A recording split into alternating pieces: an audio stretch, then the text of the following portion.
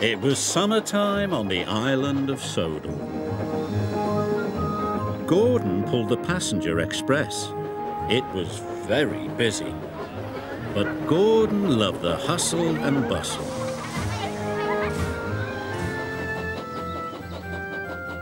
Henry hauled trucks in the forest. He loved the peace and quiet, but he didn't see many people. Sometimes working in the forest could be very lonely.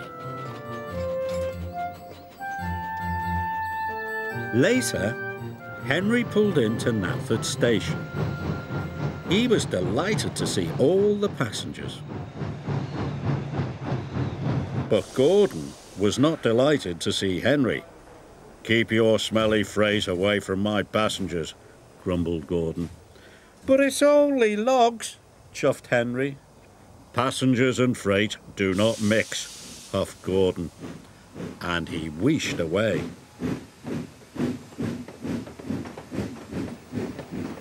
Henry watched the express leave the station.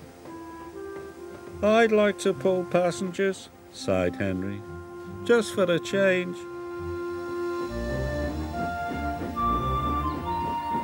Henry stopped at the water tank on the edge of the forest. Children were standing by one of the trees. What are those children doing? Henry asked Thomas. That's the old Sodor wishing tree, said Thomas. They must be making a wish. A wishing tree, gasped Henry. How wonderful! Do you think it would make my wish come true? asked Henry. It might, said Thomas, and he puffed away. Henry rolled up to the wishing tree. He took a deep breath and made a wish as hard as he could. I wish I could pull the express instead of Gordon, he said. That evening, the Fat Controller came to see Henry. Tomorrow you will pull the express, he said. Thank you, sir, said Henry happily. His wish had come true. The next morning, Henry chuffed cheerfully into Knapford Station. When his passengers were on board, Henry blew his whistle and pulled out of the station. But Henry puffed too quickly. Go gently, called his driver. You can bump freight, but you can't bump passengers. Sorry, puffed Henry. Henry puffed proudly through the countryside. Pulling passengers is a grand job, he said. Gordon was in the repair yard. He was being fitted with a new boiler. But Gordon felt lonely. He was missing his passengers. The passengers were missing Gordon too. They were having the bounciest, bumpiest ride they had ever had.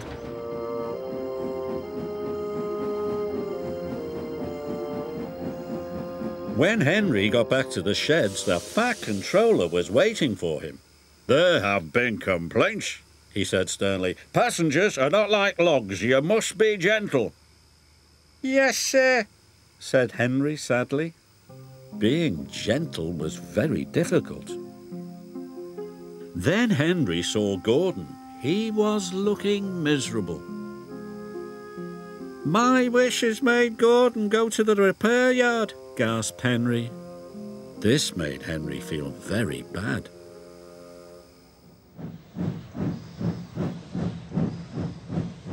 The next day, Henry had to collect the buffet car. He tried his best to be gentle, but he shunted the buffet car so hard everything flew into the air. There were more complaints than ever. Henry didn't want to pull passengers anymore. He wanted to wish everything back to normal.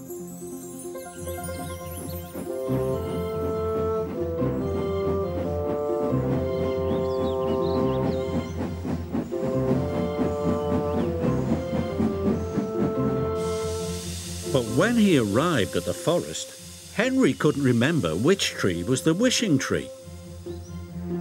Oh no, cried Henry. Which one could it be? Henry didn't know. So he decided to wish on all the trees. I wish I could pull freight again, he puffed. Then he moved to the next tree and he wished again. I wish I could pull freight again. The Fat Controller arrived on board Thomas.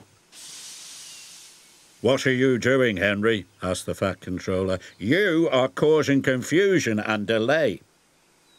Henry told him all about the wishing tree. Wishing trees don't run railways, said the Fat Controller. That's my job. Gordon just needed some repairs. He'll be back tomorrow. Henry was delighted. The next day, Gordon came back to work. He looked as good as new. The passengers were so pleased to see him, they cheered and cheered and cheered. Gordon beamed happily for the rest of the day. Henry was happy to be back in the peace and quiet of the forest. At the end of the day, he stopped near the wishing tree. And even though the Fat Controller had told him trees don't run railways, Henry wished he would never have to pull passengers ever, ever again, just in case. The island of Sodor is surrounded by beautiful blue sea. It has fields of green and sandy yellow beaches. There are rivers, streams and lots of trees where the birds sing. There are windmills and a coal mine and docks where visitors to the island arrive. The island also has lots and lots of railway lines. Who's that puffing down the track. It's Thomas. Hello, Thomas. Hello, everybody. Welcome to the island of Sodor.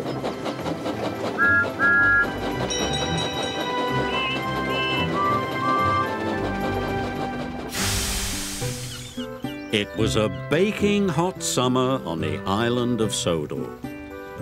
The sun was shining brightly. James and Toby were taking the children to the seaside. It was a wonderful job. All the engines liked seeing the children's happy faces, and they loved hearing them cheer when they saw the sea. Thomas wished he was taking the children to the seaside, but Thomas was taking a big tank of raspberry syrup to the ice cream factory. Down on the beach, it was very hot, and the ice cream lady had run out of ice cream. So when Thomas arrived at the ice cream factory, the factory manager was waiting for him. We have to make lots more ice cream, he cried. You must go and get the cream, the chocolate, and the strawberries. Thomas was disappointed. He had lots to collect, and he wanted to take the children to the seaside. If we get everything in time, said Thomas's driver, we can still take some children. So Thomas rushed to the dairy. He collected the cream and he puffed quickly away.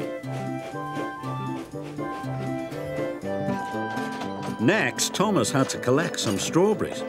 So he raced through the countryside to Farmer McColl's. Then Thomas had to stop for James. Out of the way, snorted James. Passenger train coming through. James's carriages were full of laughing children. They were going to the seaside. Why does James get to take the children? moaned Thomas. At last the crossing was clear and Thomas puffed away.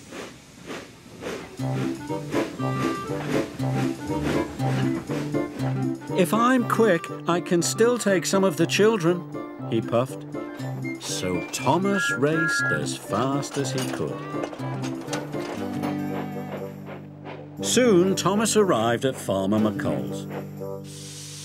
Please, be quick, Thomas panted. The farm workers loaded his trucks. Before long, they were filled with plump, ripe strawberries. Thank you, Thomas chuffed, and he raced away. Next, he had to go to the chocolate factory. Thomas hurried through the baking sun. I've still got time to take some children to the seaside, he panted. Thomas puffed faster and faster. His wheels clattered and his pistons pumped. But he puffed so fast, the signalman didn't change the points in time. Thomas raced down the wrong track. Bother, cried Thomas. Thomas had to reverse slowly and carefully back to the point. Then he had to wait while Toby went past. Toby was taking more children to the seaside. They were having a wonderful time. Everyone gets to take the children except me, moaned Thomas. At last the signalman changed the points. Thomas reversed back onto the track. And soon he was on his way once again.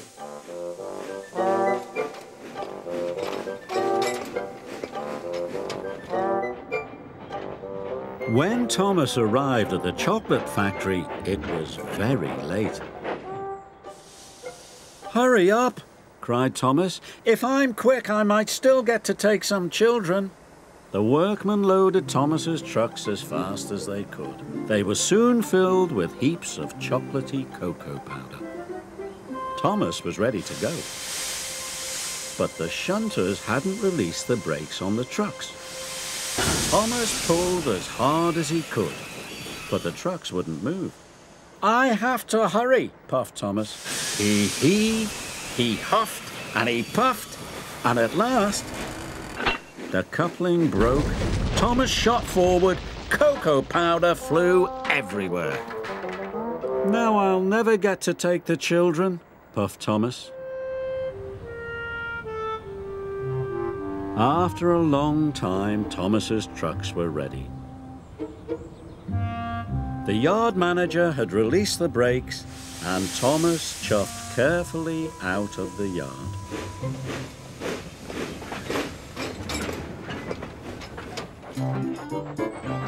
Finally, the track turned left past the old church. Thomas arrived at the ice cream factory. He thought his job was nearly done, but he was wrong. The factory manager was waiting for him. The ice cream will soon be ready, he said. You must take it to the seaside for me. Thomas was very disappointed. He wished he could take the children to the seaside instead. He wanted to hear them cheer when they saw the sea. Thomas puffed along the coast to the seaside. I wish I was taking the children, sighed Thomas. Percy was waiting at the seaside station, and so were lots of children. They all cheered as Thomas pulled into the station. Thomas was surprised. Why are all the children cheering? puffed Thomas. They're cheering for you, laughed Percy. They've been waiting for the ice cream. The children were delighted to see Thomas and delighted to eat the ice cream. Thomas loved seeing the children laugh and cheer. The Fat Controller was waiting with the children. Today you have worked extra hard, said the Fat Controller. You are a really useful engine. Delivering ice cream is a fun job after all, puffed Thomas. He was very happy. All the Fat Controller's engines like to look clean, bright and shiny. They love being washed down and having their brass polished until it gleams. James was in the workshop being repainted. He was beside himself with joy. James thought being repainted meant he was special. The workmen painted and polished for hour upon hour. Then with new paint shining, brass twinkling and blacking blacked, James returned to Tidmouth's sheds. Aren't I a beautiful red? he asked the others. No wonder the Fat Controller thinks I'm special. But Percy was worried. He wasn't being repainted, and he wasn't red. Does this mean the Fat Controller doesn't think I'm special? he asked. Looking splendid is not the same as being really useful, said Thomas firmly. But best of all is being really useful and looking splendid, like me, said James cheerfully. Before Thomas could say anything else, James closed his eyes and fell happily asleep. The next morning, all the engines were very busy. Percy was working at the coal plant. Thomas and Emily were taking passengers up and down the branch lines. Gordon was pulling the express.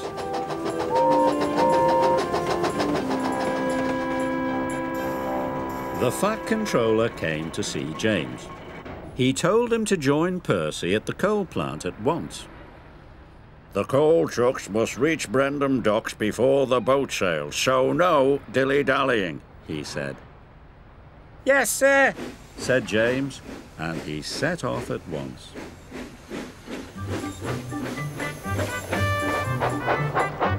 But James didn't go straight to the coal plant. He decided to go by the canal instead. Then he could see himself in the water for yard after yard after yard. Magnificent, he puffed. James had forgotten what the Fat Controller had said.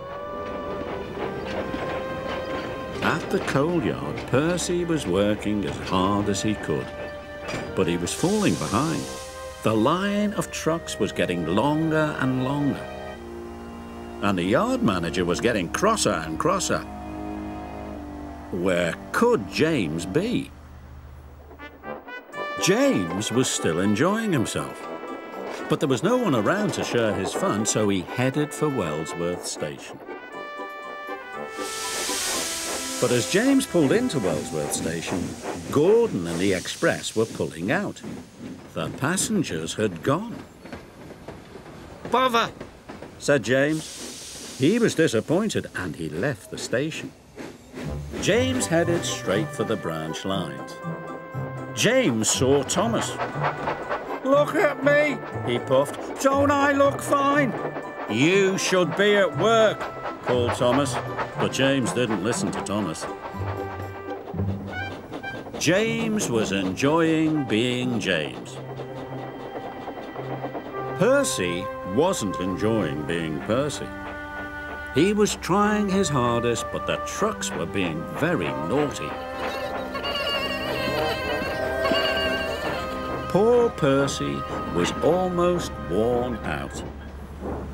What will happen to the order now? cried the yard manager.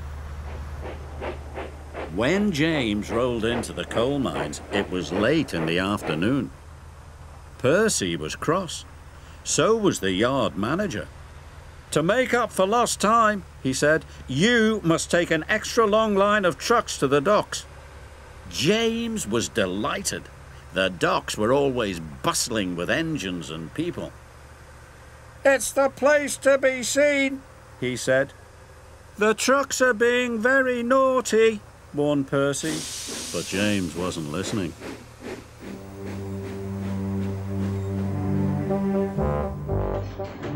James puffed along looking forward to being seen. But the trucks were naughtier than ever. They rocked and rolled and crashed and bashed. James's face was soon covered in soot. Going downhill, the trucks wiggled and giggled. James had to put his brakes on with a jolt. Coal tumbled out of the trucks, landing on James. James was cross and biffed the trucks as hard as he could. More coal flew out. Now James didn't want to be seen. He was as dirty as he had ever been. But on his way to the docks, he kept passing his friends. He passed Emily and Edward and Thomas. Thomas thought the only red thing left on James was his face. James trundled into Brendam Docks. He hoped no one would see him. But Gordon was at the docks with the express. He could not believe his eyes. He thought James was the grubbiest, grimiest, dustiest, dirtiest engine he had ever seen. Percy arrived safely with the last of the trucks. I like your new coat of paint, he puffed cheekily. You do look splendid. James knew he should have listened. He didn't feel splendid anymore. But for the first time all day, James could hear clearly. He could hear the sound of the trucks giggling at him. And despite feeling foolish, even James had to smile.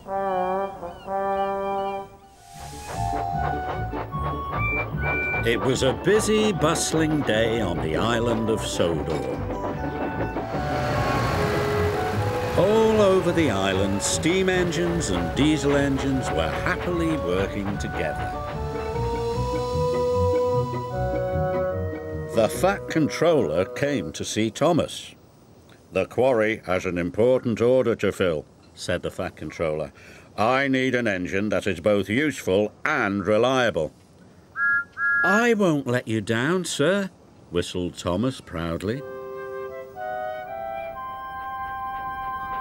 But when Thomas arrived at the quarry, he had a nasty surprise. Oh, it's you, Oil Diesel.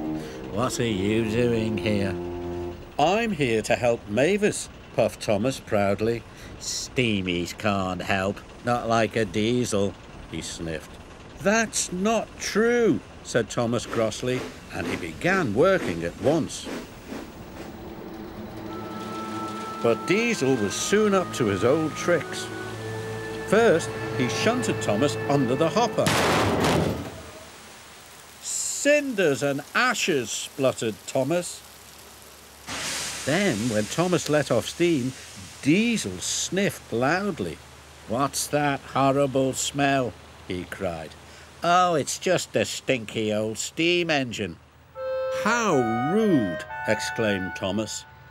No wonder the Fat Controller is thinking of scrapping steamies.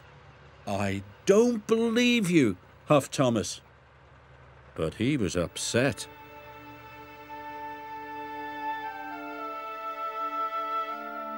That night, Thomas stayed at the quarry, but he couldn't sleep. What if Diesel is right? Thomas said sadly. What if the Fat Controller scraps all of us? Thomas was worried.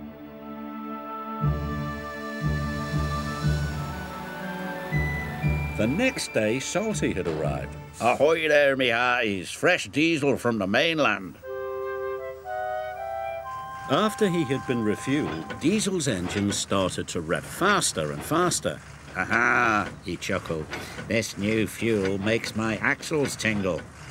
Coal doesn't make my axles tingle, sighed Thomas. I wish I could have fresh fuel. Even Mavis was excited by the new fuel. Oh my, she said. Thomas was feeling left out. Soon Diesel was showing off. I'm the fastest engine in the world, he boasted. Look at me go. Suddenly, Diesel's engine coughed. Then it started to splutter. Black, smelly smoke billowed from his exhaust. I feel sick, wailed Diesel. Mavis started billowing smoke too. So do I, she groaned. The quarry manager was upset. It's the new fuel, he cried. Water must have leaked into the tanks. Soon, all the other diesels had broken down. Harry, Bert, even Salty had ground to a halt. So the Fat Controller telephoned the quarry manager. And the quarry manager came to see Thomas. You are to collect fresh diesel from the fuel depot. Right away, sir, whistled Thomas. And he steamed out of the quarry as fast as he could.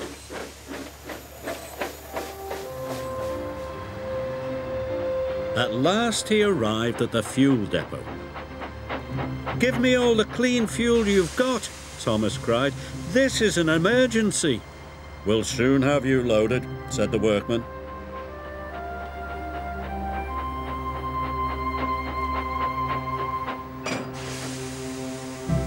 Thomas was soon loaded with trucks carrying fuel drums. The fuel drums were very heavy. Thomas pushed with all his might. His pistons creaked and his wheels squeaked. He kept on puffing.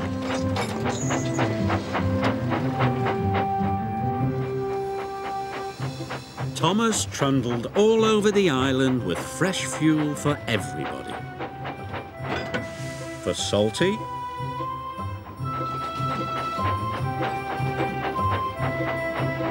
For Harry and for Bert.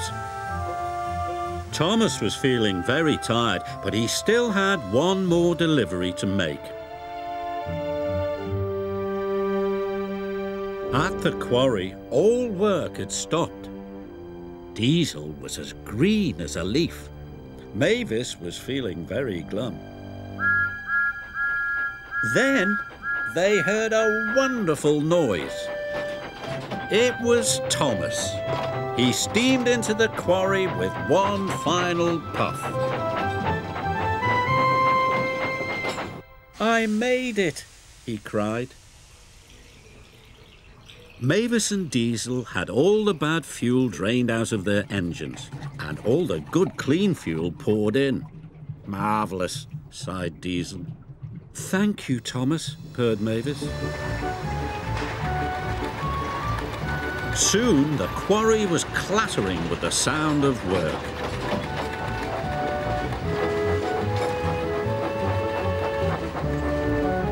And finally, important job was done.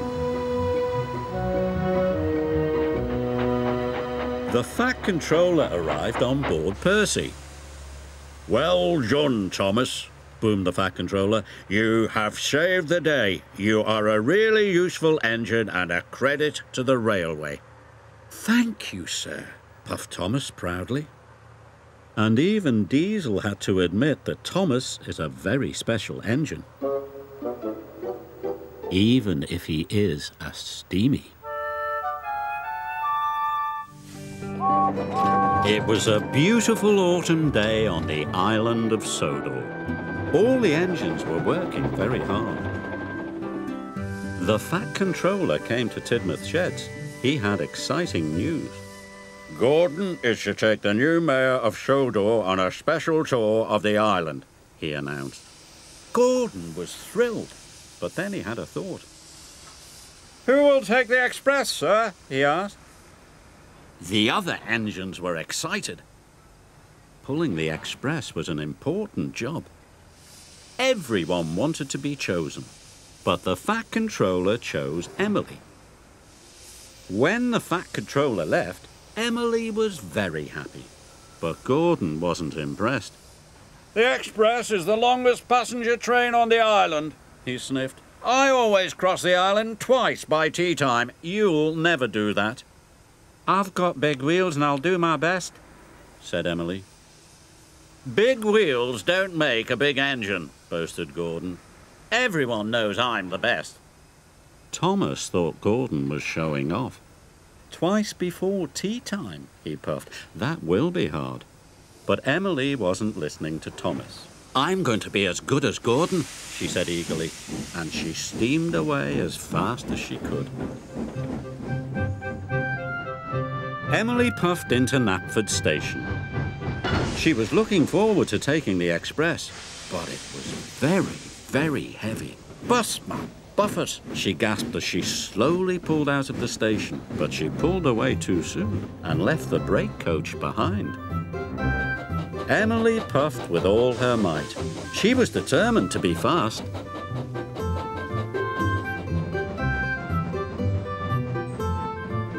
Emily crossed the island once in good time. I am as good as Gordon, she puffed proudly.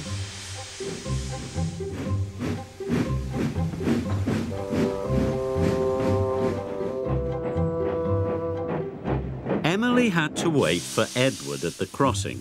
Edward went as fast as he could, but it wasn't fast enough for Emily. Hurry up, slow coach, she cried, or you will make me late. Edward felt sad, but Emily just steamed on.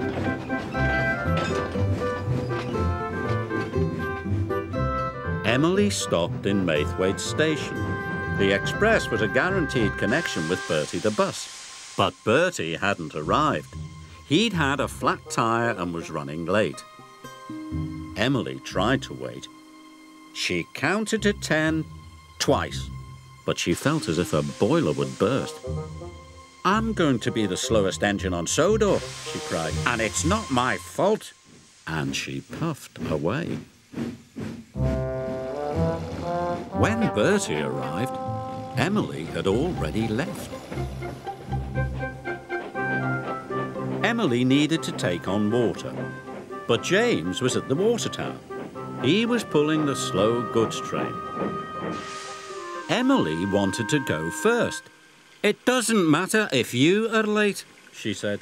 You must wait your turn, said James crossly. Express trains don't wait, said Emily. And she left without taking on water. Emily went faster than ever. Her carriages rocked and rolled, and her passengers were biffed and bumped and bounced.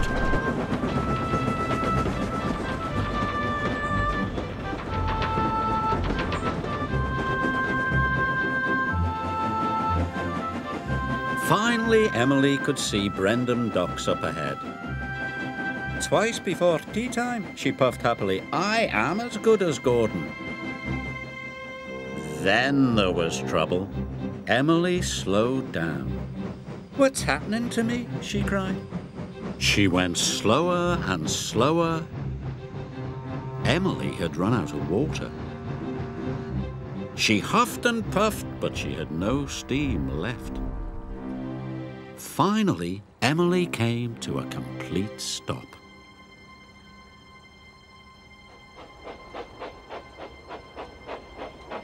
The Fat Controller arrived on board James. He was very cross. You should have waited, said the Fat Controller, and now you have caused confusion and delay. You left the brake coach, stranded Bertie's passengers, and bumped your carriages. You must learn to be more patient. Emily knew the Fat Controller was right. She felt very bad. She was only trying to be as good as Gordon. I'm sorry, sir, she said sadly.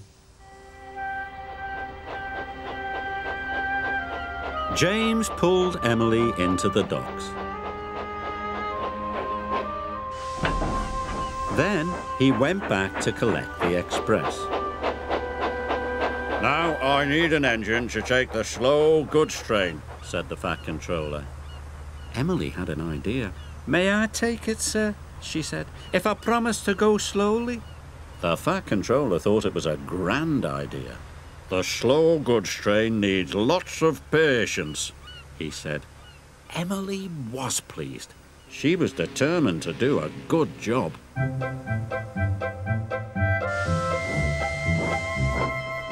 So after she took on water and lots of coal, Emily buffered up to the slow goods train.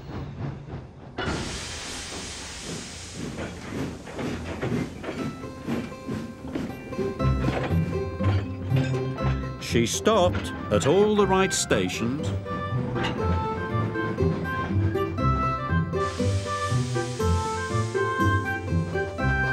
And she let all the other engines go first.